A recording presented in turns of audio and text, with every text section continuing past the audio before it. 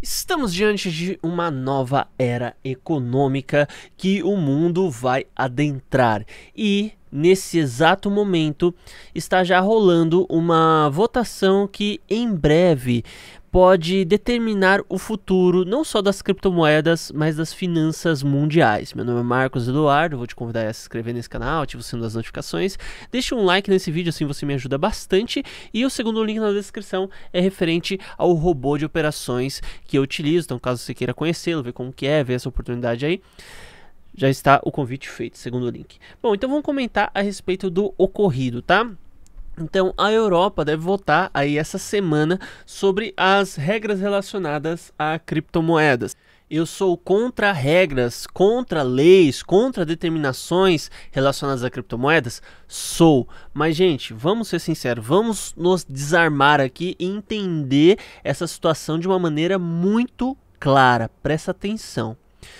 Se a gente não tiver lei nenhuma, nem nada relacionado a Bitcoin e criptomoedas, a gente vai ter uma adesão gradativa em relação às criptos durante um período aí de 10, 15 anos, se não houver nenhuma grande crise mundial, um, um super corona, um negócio assim, uma invasão alienígena ou um The Walking Dead, tá? Se não tiver nada disso, a gente vai ter uma adesão crescente aí ao Bitcoin e criptomoedas num contexto geral no decorrer dos anos. Agora, se a gente começar a ver o Estado regulamentando isso tudo, a gente vai ter uma adesão mais rápida. Eu não quero isso. Não, não quero. Eu não acho isso certo. Não acho. Eu acho que a liberdade do indivíduo vai ser perdida nesse meio caminho, mas a gente, em contrapartida, vai ter uma adesão mais rápida. E eu digo isso porque existem muitos investidores institucionais que não trabalham com criptomoedas não pelo fato de que eles têm medo das criptomoedas, do DeFi, das NFTs, do mercado, por não entenderem como uma coisa funciona ou por não quererem se expor ao risco, mas pelo fato de que tem grande medo do próprio governo fazer alguma coisa contra eles. Porque vamos lá, eu tenho tenho aqui a empresa ABC. Minha empresa tem 100 funcionários.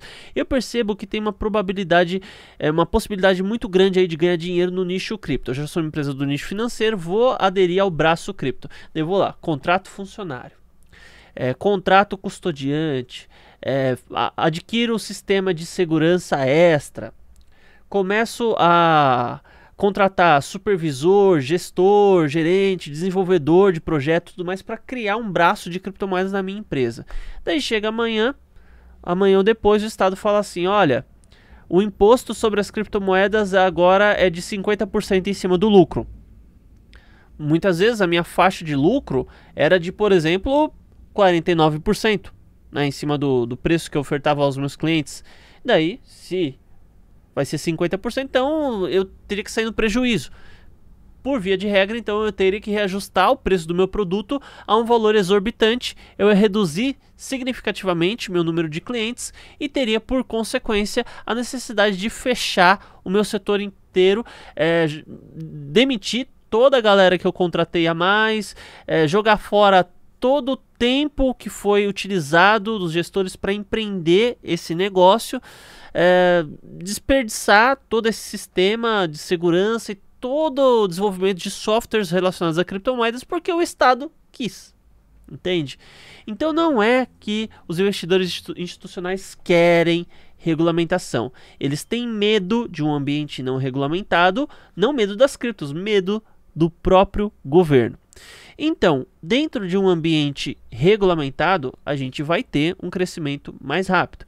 O mundo inteiro está passando por uma grande transformação os Estados Unidos estão entrando em declínio, eles atingiram seu topo de avanço em relação ao domínio mundial de forma financeira, e é claro, dominando financeiramente, eles dominam culturalmente e acabam dominando em várias outras esferas.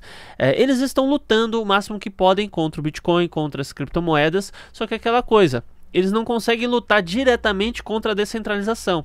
Eles só conseguem lutar contra aquilo que tem centralização. Então eles vão bater em corretoras. Então só nesses últimos dias a gente está vendo aí processo da Ripple, da Coinbase, da Binance, da Paxos, da Bittrex e, e várias outras empresas.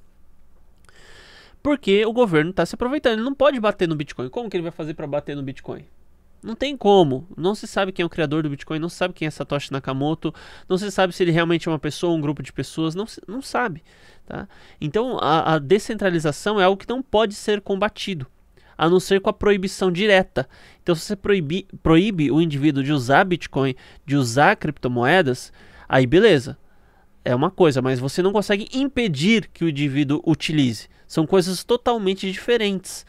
É, então, se você pega um indivíduo que não tem bens no nome dele, ele não tem ninguém para sustentar, claro que é um caso muito pequeno, né? E começa a impor um monte de leis, muitos vão ceder. Só que ao mesmo tempo vai ter uma galera aí que não vai ceder, você não vai conseguir lutar diretamente contra isso. Então a alternativa é você lutar contra aqueles que estão no nicho das criptomoedas, mas diretamente não são criptomoedas. Então quando você tem uma cara a quem você possa esmurrar, por consequência, você vai se aproveitar disso. Então, por isso que eles estão processando as empresas, estão processando os protocolos que são centralizados, como da Ripple, né, o XRP.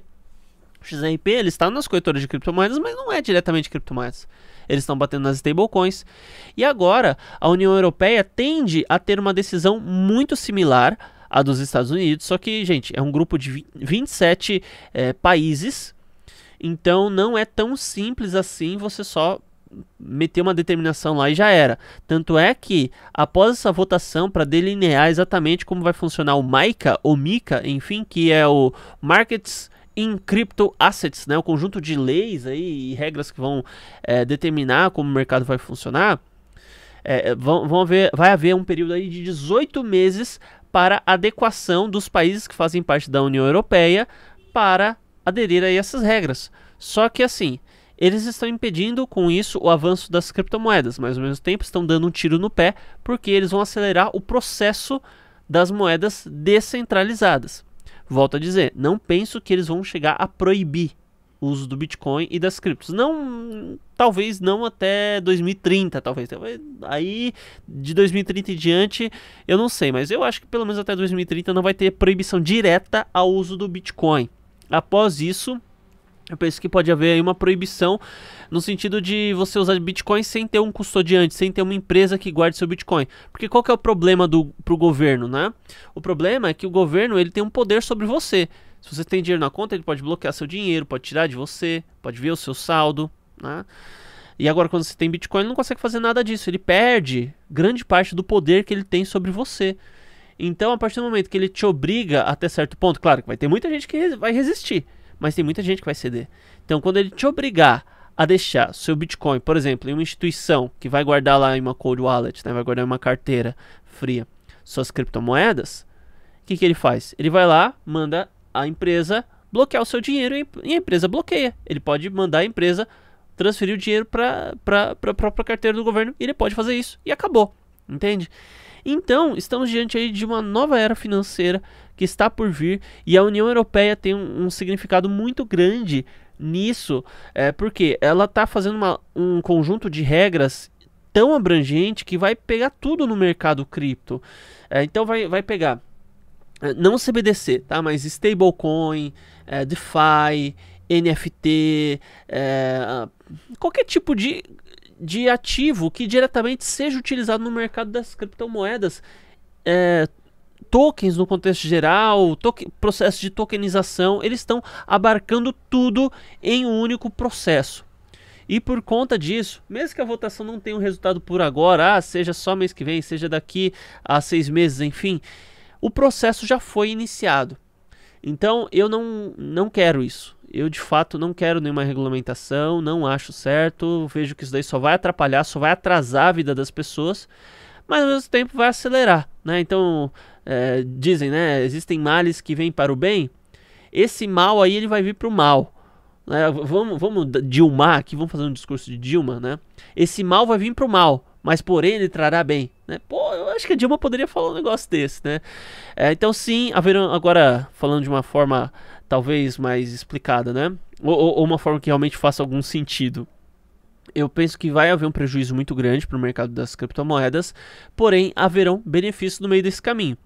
Teríamos mais benefícios se a adesão fosse pela decisão das próprias pessoas é, diante de mesmo de uma incerteza regulament de regulamentação.